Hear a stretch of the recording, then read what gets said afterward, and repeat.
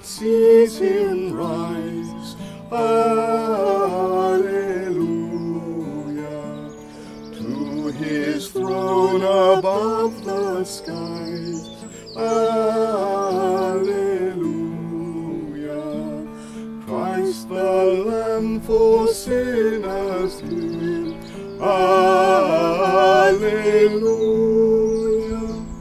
Enters now the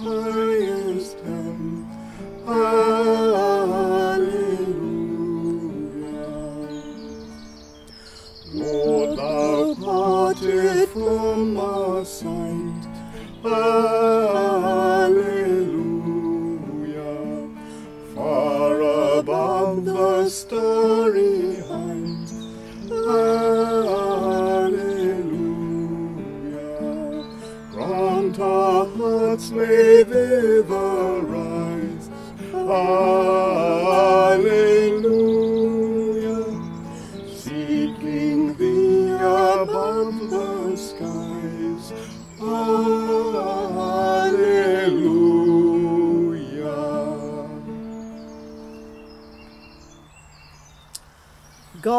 Has gone up with a shout, the Lord with the sound of a trumpet. In the name of the Father, and of the Son, and of the Holy Spirit. Amen. Grace, mercy, and peace from God our Father and the Lord Jesus Christ be with you. And also with you. Dear brothers and sisters in Christ, for forty days we have been celebrating with joyful hearts the resurrection of our Lord Jesus Christ, his bursting from the tomb, and his defeat of the power of sin and death. He appeared to his disciples many times and told them about the kingdom of God. Today we recall how he left this earth and returned to his Father, ascending into heaven to take his throne over all dominions and powers, trusting in his reign over all creation and submitting to his kingly yet loving rule. Let us hear the story of his parting.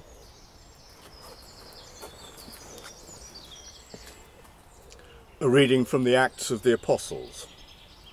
While staying with them, Jesus ordered them not to leave Jerusalem, but to wait there for the promise of the Father. This, he said, is what you have heard from me. For John baptized with water, but you will be baptized with the Holy Spirit not many days from now. So when they had come together, they asked him, Lord, is this the time when you will restore the kingdom to Israel? He replied, It is not for you to know the times or periods that the Father has set by his own authority, but you will receive power when the Holy Spirit has come upon you. And you will be my witnesses in Jerusalem, in all Judea and Samaria, and to the ends of the earth. When he had said this, as they were watching, he was lifted up, and a cloud took him out of their sight. While he was going, and they were gazing up towards heaven, suddenly two men in white robes stood by them. They said, Men of Galilee, why do you stand looking up towards heaven? This Jesus, who has been taken up from you into heaven, will come in the same way as you saw him go into heaven. Alleluia, Christ is risen. He is risen indeed. Alleluia.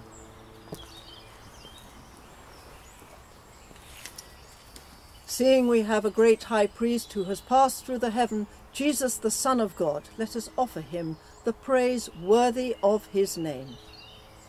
Glory to God, in the highest, and peace to his people on earth. Lord God, heavenly King, almighty God and Father, we worship you, we give you thanks, we praise you for your glory.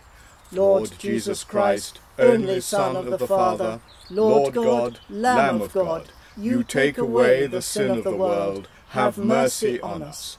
You are seated at the right hand of the Father, receive our prayer. For you alone are the Holy One, you alone are the Lord, You alone are the Most High, Jesus Christ, with the Holy Spirit, in the glory of God the Father. Amen. Let us pray that our risen and ascended Lord will lead us to eternal life. Risen Christ, you have raised our human nature to the throne of heaven. Help us to seek and serve you, that we may join you at the Father's side where you reign with the Spirit in glory, now and forever. Amen. Amen. Alleluia, Alleluia. Go and make disciples of all nations, says the Lord. Remember, I am with you always to the end of the age. Alleluia.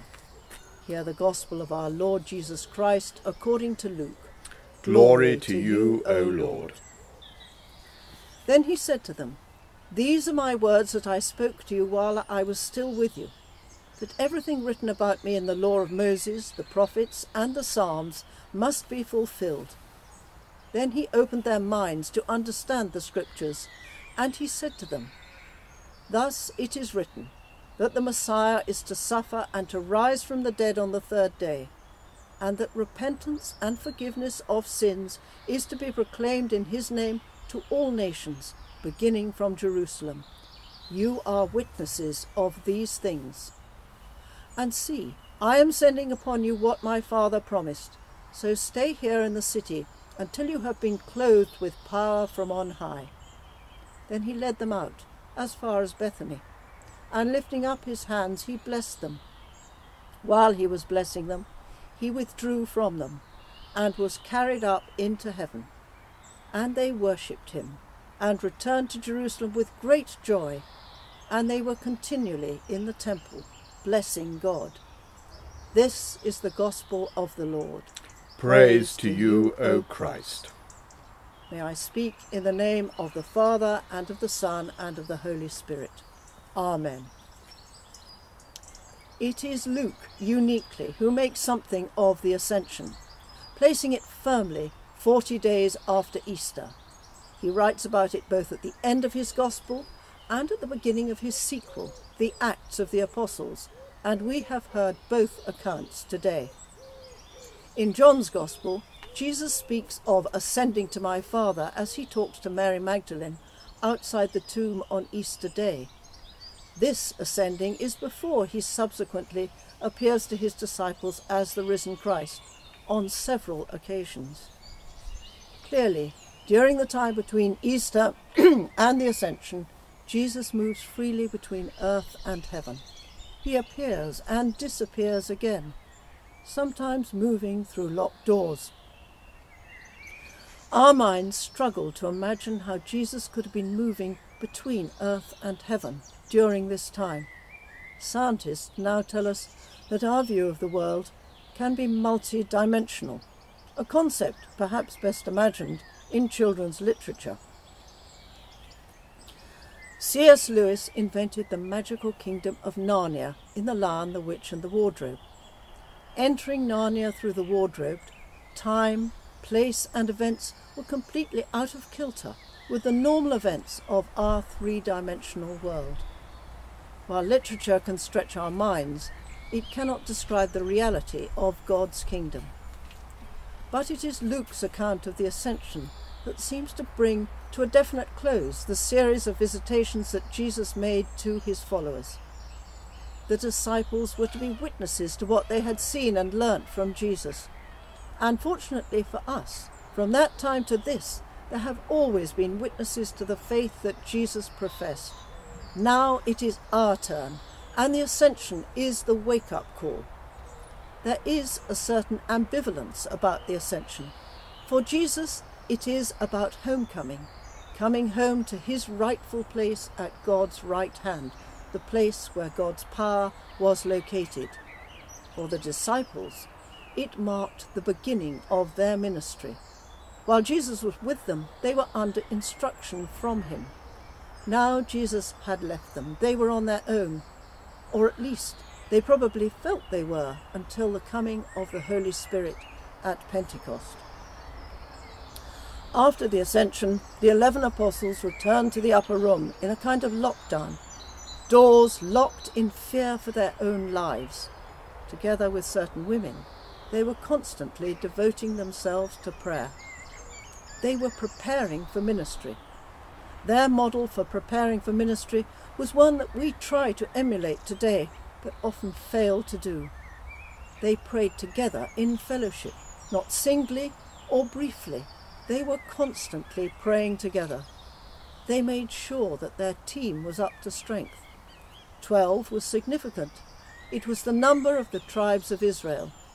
So Peter made them choose one of their number to be the replacement for Judas Iscariot.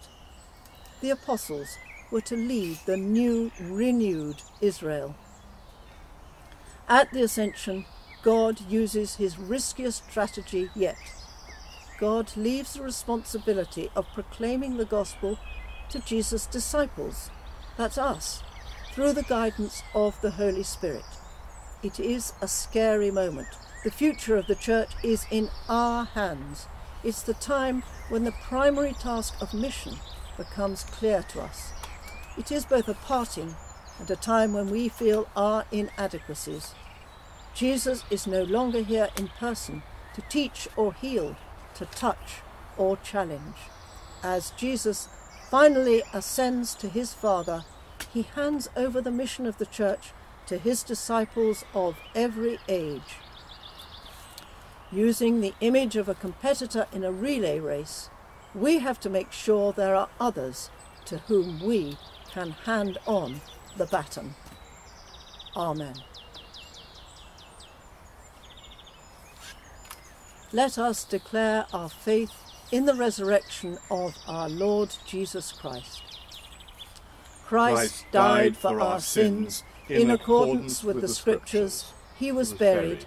He was raised to life on the third day in accordance with the Scriptures. Afterwards, he appeared to his followers and to all the apostles. This we have received, and this we believe. Amen. Let us join our prayers with those of our Saviour Christ, seeking the Father's blessing and the gifts of the Spirit. Jesus Christ, great High Priest, living forever to intercede for us, pray for the Church, your broken body in the world, that we may find ways to bring your good news to those who do not know you. Lord, hear us. Lord, Lord graciously hear us. Jesus Christ, King of righteousness, enthroned at the right hand of the Majesty on high, pray for the world and make it subject to your gentle rule. Give wisdom to all those seeking ways to overcome this global pandemic. Lord, hear us. Lord, graciously hear us. Jesus Christ, Son of Man, drawing humanity into the life of God, pray for your brothers and sisters in need, distress, or sorrow, especially those who are suffering from COVID 19 and those who are mourning the death of loved ones. Lord, hear us. Lord, graciously, hear us. Jesus Christ, pioneer of our salvation, bringing us to glory through your death and resurrection, surround with your saints and angels those who have died trusting your promises. Lord, hear us. Lord, graciously hear us. Jesus Christ, Lord over all things, ascended far above the heavens and filling the universe, pray for us who receive the gifts you give us for work in your service. May we hear your promptings to us. Lord, hear us. Lord, Lord, graciously graciously hear hear us. Jesus Christ, keep the church in the unity of the Spirit and in the bond of peace, and bring the whole created order to worship at your feet, for you are alive and reign with the Father and the Holy Spirit, one God, now and forever. Amen. Jesus says, Peace I leave with you, my peace I give to you. If you love me, rejoice, because I am going to the Father. Alleluia. The peace of the Lord be always with you. And also with you. Peace be with you.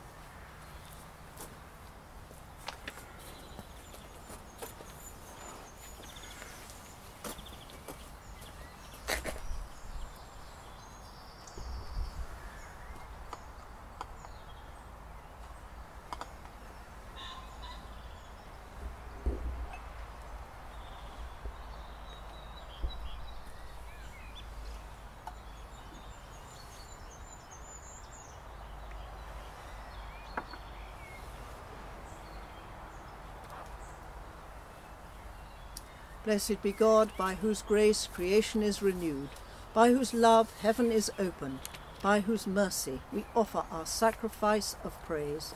Blessed, be God forever.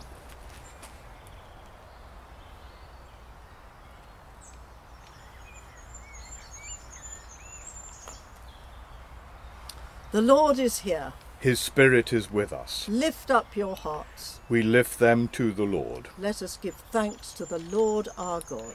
It is right to give thanks and praise. It is indeed right and good, our duty and our joy, always and everywhere, to give you thanks, Holy Father, Almighty and Eternal God, through Jesus Christ, the King of glory. Born of a woman, he came to the rescue of our human race. Dying for us, he trampled death and conquered sin. By the glory of his resurrection, he opened the way to it, life eternal, and by his ascension gave us the sure hope that where he is, we may also be. Therefore, the universe resounds with Easter joy, and with the choirs of angels we sing forever to your praise. Holy, holy, holy Lord, God of power and might, heaven and earth are full of your glory. Hosanna in the highest. Blessed is he who comes in the name of the Lord. Hosanna in the highest. We praise and bless you, loving Father, through Jesus Christ our Lord. And as we obey his command, send your Holy Spirit that broken bread and wine outpoured may be for us the body and blood of your dear Son. On the night before he died, he had supper with his friends, and taking bread, he praised you. He broke the bread, gave it to them, and said, Take, eat. This is my body, which is given for you. Do this in remembrance of me. When supper was ended, he took the cup of wine. Again he praised you, gave it to them, and said, Drink this, all of you. This is my blood of the new covenant, which is shed for you and for many for the forgiveness of sins. Do this as often as you drink it in remembrance of me. So, Father, we remember all that Jesus did. In him we plead with confidence his sacrifice made once for all upon the cross. Bringing before you the bread of life and cup of salvation, we proclaim his death and resurrection until he comes in glory. Great is the mystery of faith. Christ has died, Christ is risen, Christ will come again. Lord of all life, help us to work together for that day when your kingdom comes and justice and mercy will be seen in all the earth. Look with favour on your people, gather us in your loving arms, and bring us with all the saints to feast at your table in heaven. Through Christ and with Christ and in Christ, in the unity of the Holy Spirit, all honour and glory are yours, O loving Father, for ever and ever. Amen. Amen.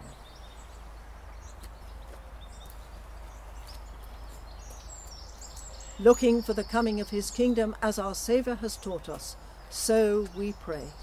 Our Father in heaven, hallowed be your name. Your kingdom come, your will be done on earth as in heaven. Give us today our daily bread. Forgive us our sins, as we forgive those who sin against us. Lead us not into temptation, but deliver us from evil. For the kingdom, the power, and the glory are yours, now and forever. Amen. Lord, we died with you on the cross. Now we are raised to new life. We were buried in your tomb.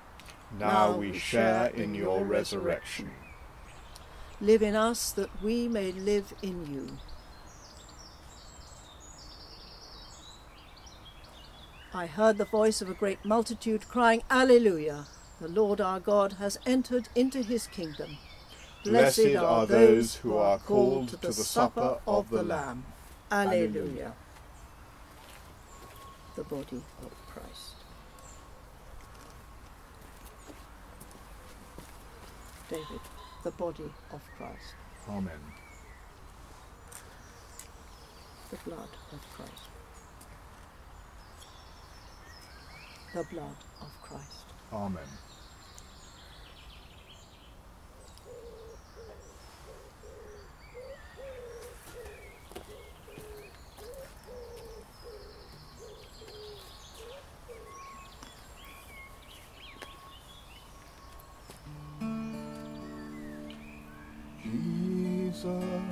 Remember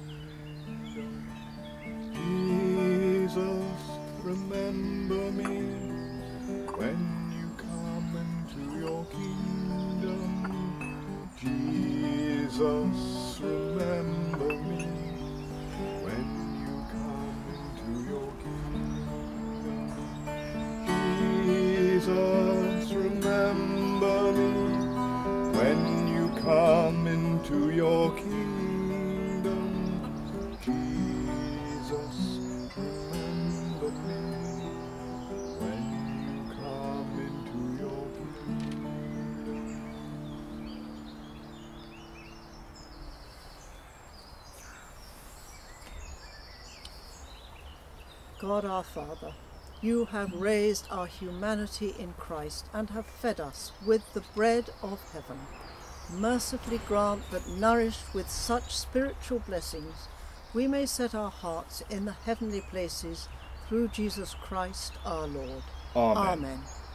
We thank you, Lord, that you have fed us in this sacrament, united us with Christ, and given us a foretaste of the heavenly banquet prepared for all peoples. Amen. Amen.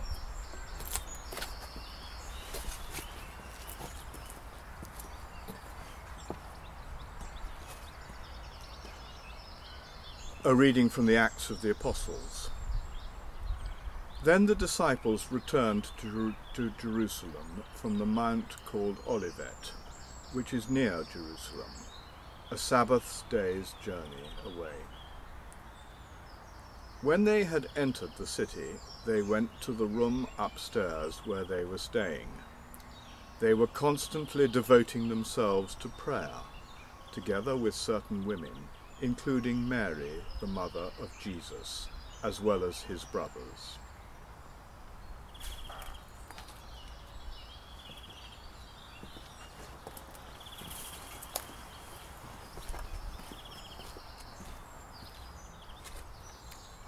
As we wait in silence, Make, Make us, ready, ready for your coming Spirit.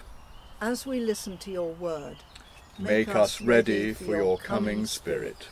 as we worship you in majesty, Make us ready for your coming Spirit. as we long for your refreshing. Make us ready for your coming Spirit. As we long for your renewing. Make us ready for your coming Spirit. As we long for your equipping. Make us ready for your coming Spirit. As we long for your empowering. Make us ready for your coming Spirit. May the Spirit, who set the church on fire until the upon the day of Pentecost, bring the world alive with the love of the risen Christ and the blessing of God Almighty, the Father, the Son, and the Holy Spirit, be amongst you and remain with you always. Amen. Amen. Waiting expectantly for the promised Holy Spirit, go in the peace of Christ. Alleluia, alleluia. Thanks be to God. Alleluia, alleluia.